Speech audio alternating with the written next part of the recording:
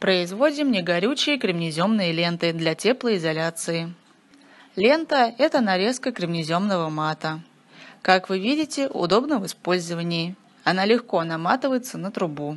Является гибкой, негорючей и экологичной. Производим ленты разной ширины и толщины для удобства монтажа. Не оставляет неприятных ощущений на коже после работы с ней. Кремнеземные ленты производятся в виде небольших рулонов. Также могут использоваться для теплоизоляции котлов, топок и воздуховодов.